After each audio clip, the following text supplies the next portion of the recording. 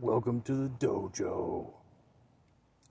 Alright, today we are making tofu pad thai with zoodles instead of rice stick.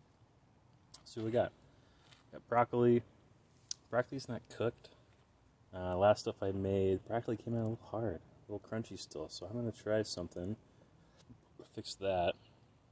Got uh, garlic, peanuts, egg, some green onion, some mushroom, add a little meatiness to it, tofu, pad thai sauce, some lime.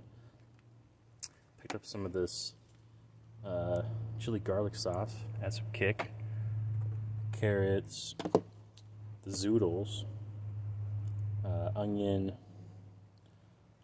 uh, jalapeno, and an Anaheim pepper. I know you're thinking, hey man, this stuff doesn't go in pad thai. That's okay.